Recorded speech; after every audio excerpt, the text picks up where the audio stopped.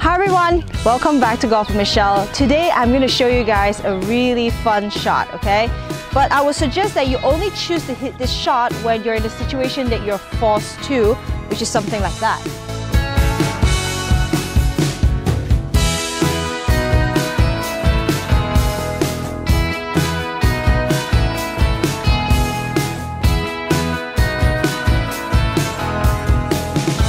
I'm in a situation where I hit my ball just short of the bunker. As we can see over here, I have a big bunker to carry and not much green to work with. We can see that the green is actually running away from us. So I want to hit a shot that it goes high and then landing soft and it doesn't run out that much.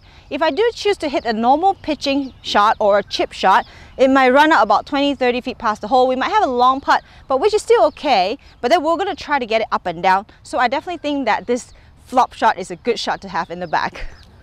The shot that I would like to share with you guys is what we call the flop shot, okay? This is a shot that we don't practice often, so I would like for you to make sure you try it on the practice area before you take it out on the golf course, okay? There's a few situations that I would suggest you to use the flop shot. One is when you have to carry a bunker and you have not much green to work with. The other one is you have to carry water or hazard, and the other one is you're hitting onto a very elevated green where the green is small and you don't have much green to work with again.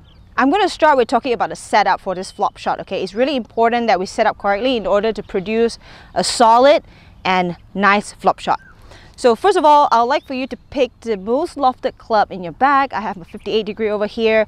You can choose the 60 degree, which is fine as well, all right? So first of all, we talk about club face. I would like for you to set up with the club face slightly open, which is, I mean, just a little bit open. If this is 12 o'clock, just point it at one o'clock, okay? Then only you grip the club. You do not want to grip the club and then open the face, all right? You have to make sure you open the face first and then only grip the club, all right? So you're gonna grip the club with a slight open face and then now I'm gonna talk about the stance, all right? You're gonna stand a little bit wider, okay? And a little bit lower, okay? Stand wider, lower. Ball position is gonna be about just one ball left of middle, all right? Because the club face is open, I would like for you to make sure you set up just aiming stance, aiming left of target, okay? The club face is going to aim at the flag, body is going to aim just slightly left of target.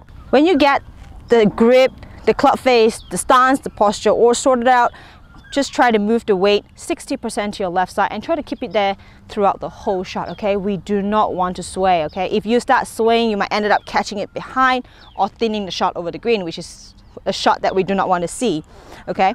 So weight 60% on the left side.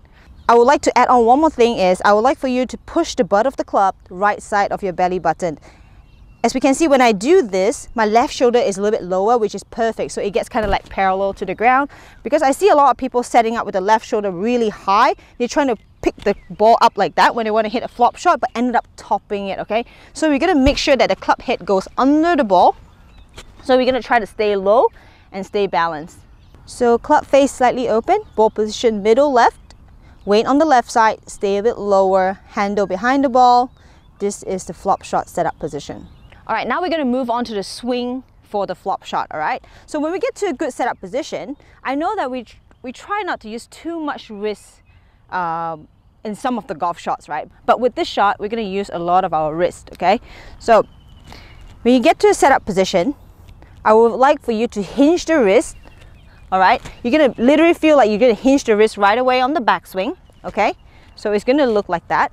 You're going to hinge right away on the backswing, but you got to make sure that you maintain the loft of the club. You, you don't want to hinge it this way with a sh shut club face. You're going to make sure that you hinge with, with maintaining the open club face, which is maintaining the loft, okay? So that's really important. And the next thing is when we take our backswing, we got to make sure that we maintain our weight on the left side when I hinge we do not want to move at all okay you don't when you hinge make sure you don't move the weight to the right side okay so just Keep the weight 60% on the left side. Hinge the club. You can see that my chest is slightly turned as well. You can just let it be, but keep the lower body quiet. When I get to a nice setup position at the top over here, I gotta make sure that speed up on the downswing, all right? You do not want to slow down any point. This is definitely a no-no for a flop shot, all right? So you're gonna make sure that you speed up, okay?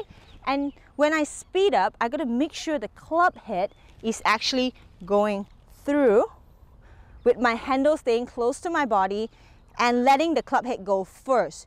You do not want to lead with the handle, okay? We definitely do not want this position. We're gonna make sure, you're literally gonna feel like when the club head is coming down at this position, okay, when the handle is where the where your setup position is, you're gonna make sure the club head is going through first. Okay, you're literally gonna feel like the hands stop moving over here, but the club head is still going through.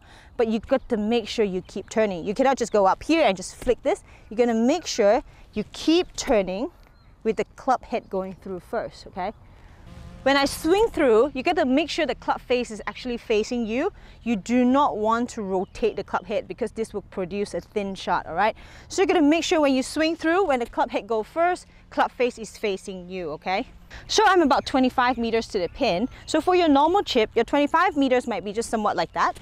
For the flop shot, don't be afraid of making a bigger swing, okay? Why? Is because we're sending the ball up in the air, we're not hitting it low. So don't be afraid to swing it faster with a bigger swing. Okay, we're to make sure that we open the club face slightly before we grip the club. We're to aim the club face at the pin and our stance is just to be aiming slightly left of the pin or target. Ball position is to be middle left, weight 60% on the left side and I'm to make sure that the butt of the club is pointing right of my belly button, all right? On my backswing, make sure I maintain the loft and then I'm to swing through with the club head going first, all right? Don't be afraid of producing a bigger swing and it's really important that you relax the wrist okay? It's really important to relax the wrist. Wow. Woo.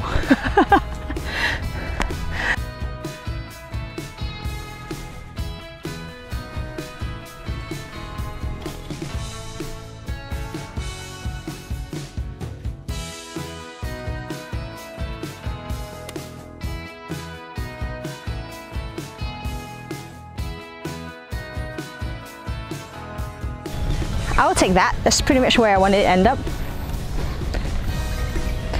Hope this video will add another shot in your bag, save you some shot on the golf course in the future. Be brave, be confident, have fun on the golf course. I hope you guys like this video and I'll see you guys again soon.